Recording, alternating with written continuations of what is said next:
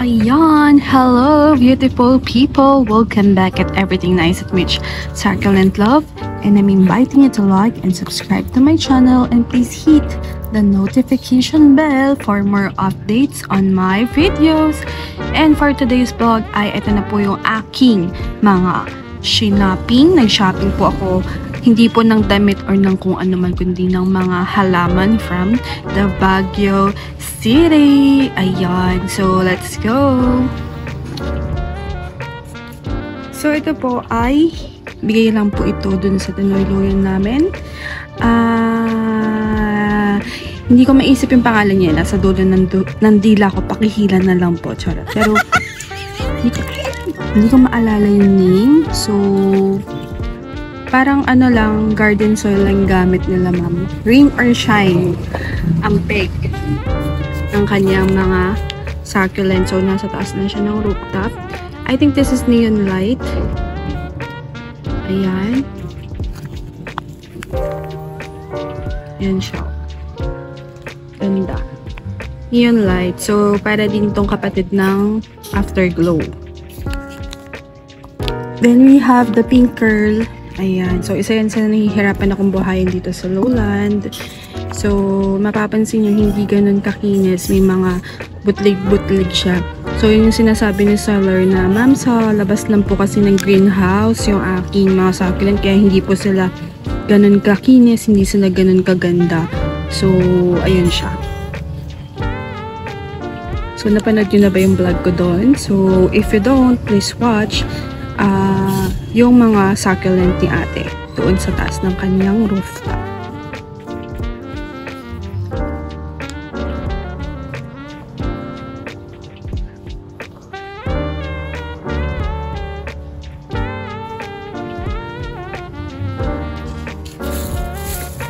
Then, in-next natin to from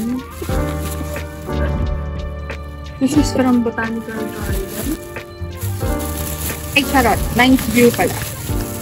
So, ito yung saresa. Yan. So, parang pampaswerte siya. So, yan. Parang pampaswerte naman siya. Hindi pala ako nakabili ng ano. Ano na nga yun? Pitonia ba yun? Yan. So, ganyan siya. So, parang siyang pampaswerte. Tapos, may design na siya. This is a 50 pesos na. So, di ba? Pwede na siyang pang-design. So, every 3 days yung sabi na dilig. Yan. So, again, from Mind's View. So, 100 pesos ko po nabili ito. So, the banana with the moss and the toppings. Ayan. So, ayan siya. So, this is from the uh, Mind's View. Again. So, 100 pesos ko po siya nabili. Ayan. At katunayan, nalaglag po yung mga pato. Ay, ay! Ayan, nahuhulog. So, may mga tatlo pa rin for 100 kasi parang yung mga one, tatlo for 100 nila ah common na sa ah, parang meron na ako ganun. So, eto si banana namamatayan ako lagi ng banana. So, alam ko mabait din sa lula. So, ayan. Banana and banana. So, nahulog pa nga talaga yung mga bata. So, ngayon, yung tinda nila is may pa-design plus ano na may pa-design tapos may pat na siya. So, yung 3 for 100 nila is yung mga walang So, nahiya lang ako sa seller nito, kaya binili ko na si banana. And actually, wala nga akong banana na matay. Kaya binili ko na. Ayan. So, ikutin natin B. Kailangan may ikot yan. Diba? Kahit ganyan-ganyan lang. Charot. So, ito yung, ano, nag-live ako doon and naghahanap kami ng plants. Tapos, parang, yung pitaw niya, sabi 50, tapos pagkat inulit mo 100, yung ganun, parang ang gulo-gulo nila. So, bahala sila. Hindi ko tuloy binili.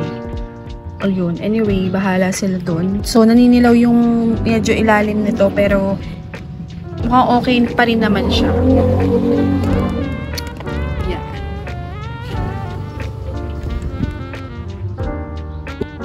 So, next from Botanical Garden. So, ito, nalamog-lamog na siya. Pero, pangbaragad naman kasi itong mga to. So, 100 pesos din. 50 po isa ito. So, ayan. Bumili ko ng gym location na Oxy Oxy.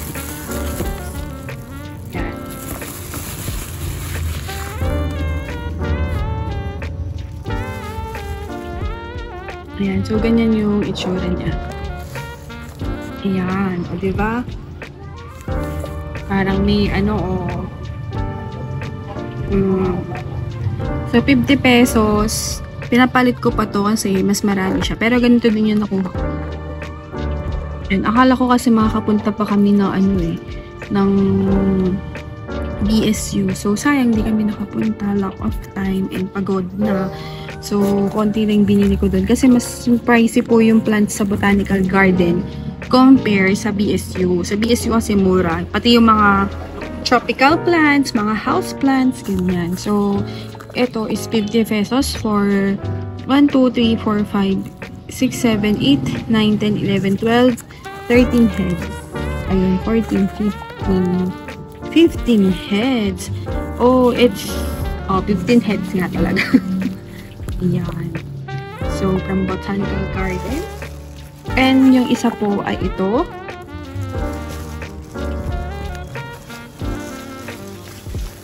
Ayan. So, pag bumili kayo, ipabalot nyo sa papel. Lalo na kung nagka-travel pa kayo. So, ito na, lamog-lamog na sila actually. Kaya, ano. Ayan. So, ang tanong ko kay ate, di mo Makati yan? Hindi naman, sabi niya. Kasi bak ayoko yung ano, cactus na nag Makati. Ayan. So, 50 pesos din. Pero, mura lang yan sa BSU. Baka 25, tatlo 100, 30, ganun. 35. So, ayan. 100 pesos siya. So, ganito na siya.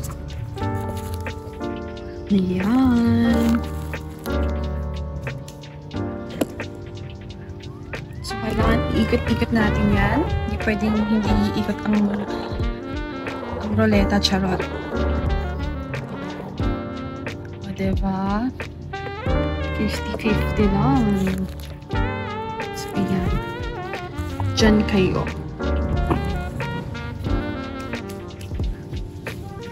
And then next, ito sa Tayo Garden. So, sa Tayo Garden, 100 yung entrance, tapos may free ka na plant. Ito, mamimili ka ng free. Eh, ito lang, eh, si Dardy lang naman ang gusto ko. Kasi yung mga pa-free nila, mga common. Common lang na, ano, succulent. So, ayan. Diba? Si Dardy Sunshine, ang pa-free. And then, eto, gusto ko nito. So, ang mahal ko nabili is. So, this is a Korean succulent. Pero common na to eh. Ayan, si Topsy-Turvy. So, 200 ko nabili for this. Grabe. So, tinaga ang person sa presyo. So, dahil gusto ko naman ito, sige nga. Ko, pero naisip ko yung 200 pesos. Ay, marami na ako mabibiling ng uh, saxis. Ayun. So, medyo pricey po yung mga succulent sa Tayo Garden. So, kapag ka turista at maganda yung itsura mo, baka mahalan ka. Kaya magsuot kayo ng punit-punit na damit at saka magdala na lang kayo ng supot as your bag. Charot. Ayan. Pero ang ganda niya kasi gusto ko talaga siya. Namatayan kasi ko ng ganito. Ayan. Diba? Ganda naman. Pwede na. And then I have the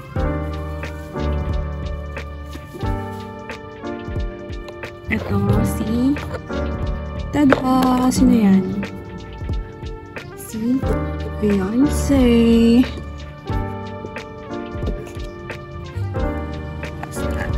Okay, para makita mo. Ayan, so this is 350 peso. So, siya na lang yung pinili ko malapit-lapit sa presyo niya talaga. And, okay na ako dyan. Tsaka ceramic pot naman yung nakuha ko. So, tatlo yung ganito, iba plastic. Ito na lang kinuha ko. Ayan. So, total of 550. Diba? Sa 550, ang dami ko na mabibiling succulent. My gosh. Diba? So, yung mga common kasi doon, 200, 250 pa nga binili. 250 siya, binigay lang sa akin ng 200. Kaloka. So, anyway, pwede na, pwede na. Sabi nga ng, ano, ng ipa. Pwede na yan. So, gusto ko sa bawat pinuntahan ko sa Baguio is may remembrance rin ng plants, di ba? Kailangan iikot natin yarn. At patap view naman dyan, oh. Top view tayo mga be. So, gusto ko rin sa Swan Lake, kaya lang 250, my God. Magkano lang yun eh. Pero, ayan, makapatid na sila.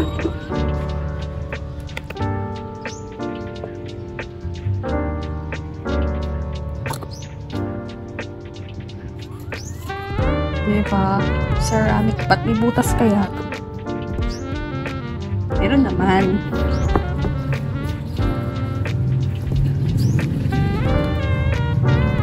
So, this is the last.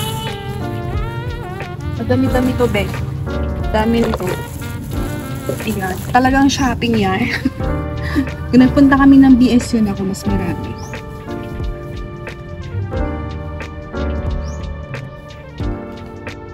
So, nanguha pa pala ako ng mga dahon-dahon.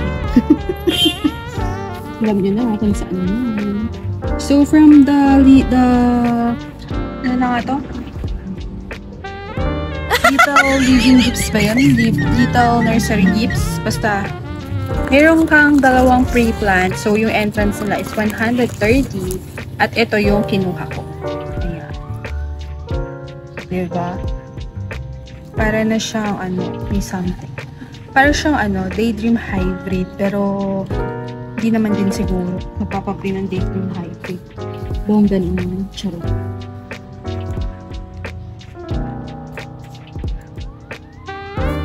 Dalawa yung free ko. Yung bake ko.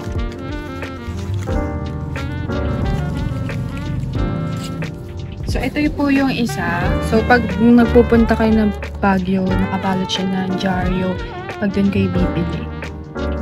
Pag hindi binalot, babalot nyo para hindi masira yung halaman. Pagka nag-travel kayo, di ba? Pagbuhat mo siya. So, ito po yung pre ko na dalawa. Ayan. And then, kumuha po ako ng Mirio.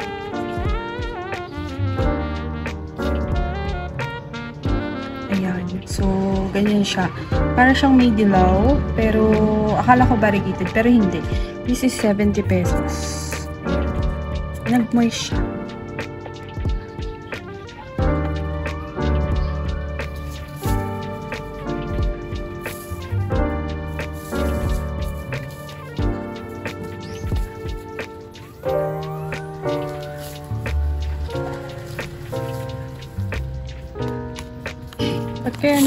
Nag-buy sila? Kasi basa.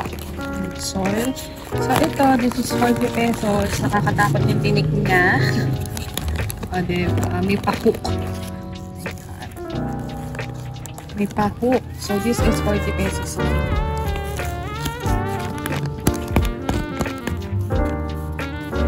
Yes. Ayan. Bumitaw ka, best. Bumitaw ka. Ayan, bumitaw ka. Ayan. Tawan mo. Hindi ka pa halagahan niyan. Charot. Ayan. diba? 40 pesos. Sana pala dinalawa ko na. Sa camera yan. So, doon, pwede kang kumuha ng mga mga halaman. Tapos, kasi ano yun eh, yung setup nun, uh, by greenhouse, tapos kuha ka doon, may mag-assist naman sa'yo. Kung wala, magpa-assist ka. Tapos kuha ka ng mga plants, tapos kahit naman hindi mo kunin lahat ng binili mo, kung ano lang talaga yung kaya ng budget mo, edi doon ka lang. Sabi ko nga eh, ayokong kumuha ng marami. Baka isa lang po yung makuha ko sa dami ng kinuha ko. Sabi ko kay ate, natawa naman siya. Okay lang po yun, sabi nila. Eh, ayun. Di ba, katakot yung tinik nito. Di ba, pag may kaaway ka, ito na ibalibag mo. Charot.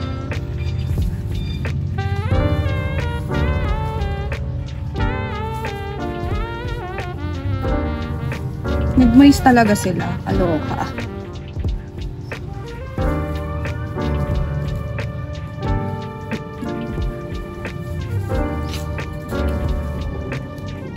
So, ito naman yung sunod. Yan. Diba? Pinapakita ko talaga na naka-jar. Actually, hindi ko naman maalala. So, ito ay, ba't kaya basa? Nabasa siya. Ayan. So, ito ay 120 lang. Diba? Hmm. 120 petot. Diba? Sana pala, ano, kumuha ka na maraming ganito. Kaya lang pagod na ako eh, that time. So, kumuha ka ng ganyan. Ganyan karami. Diba? Tada! Diba, winner na ako sa Astro. Tapos, Pukoryo type. Yun. So, may isa pa akong kukunin sana yung Kiko. Kaya lang 600. Parang hinahin akong bilhin kasi parang feeling ko mura pa sa iba. Pero sabi ko nga eh, dapat di ako nagtipid kasi kaya ako nagpunta doon para bumili talaga ng halaman. This one ay Yee! Meron na ako 350. Ayan. O, diba? Ang ganda-ganda. Meron na ako rainbow cactus. So, I want more, be. And then, the last one, nakakabitin talaga yung kinuha ko. Sana pala kinuha ko na lahat. Charot. Wait, baba natin dito. Ops, ops. Ipaganyan natin.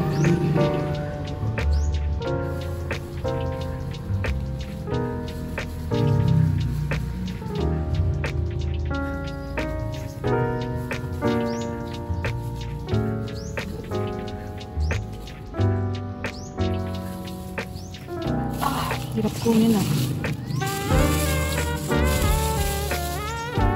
So, bonggang-bongga yung kanyang balot. Ayan. Natin.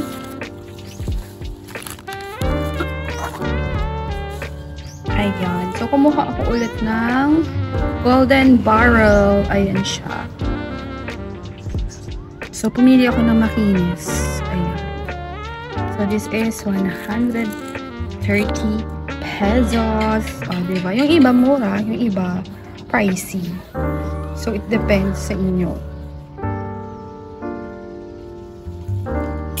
Babalik ka ba, Mitch? Gusto kong bumalik. Gusto ko pang bumili. Charot. Ayan.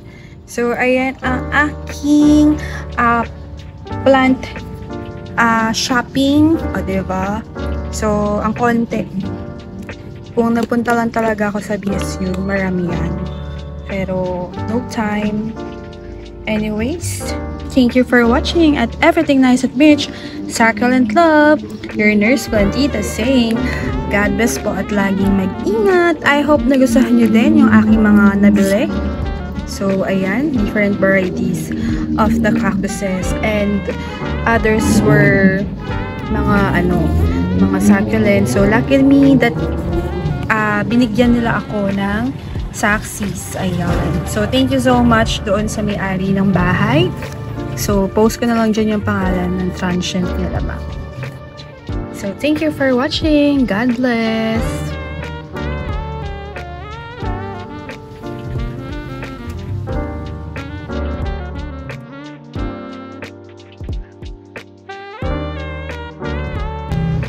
So, pahingahin ko lang muna sila dyan. So, kapag bumili kayo ng plants from uh, yun, kagaya ng Baguio or somewhere kayo bibili is uh, hayaan nyo muna siya dyan or somewhere na syempre, isa-shaded nyo muna yung mga bago nyong plants and inspect nyo kung mayroong uh, mga insect or fungus. Ayan. So, you have to uh, assess first and of course, uh, shaded area muna tapos hayaan nyo muna sila na na masanay sa environment sa inyo para hindi sila may stress para maiwasan natin yung plant stress. Kasi kapag ka uh, kunwari ganyan kabibili nyo lang tapos pagdating nyo ng bahay then ire-repat nyo na agad.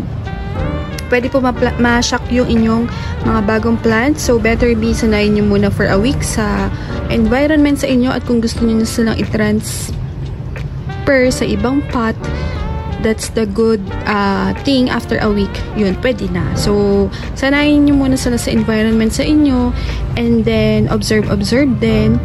So, yun lang po yung tips ko when buying a potted uh, plants, even succulent plant or tropical plants. Para iwas plant shock, you know what to do na.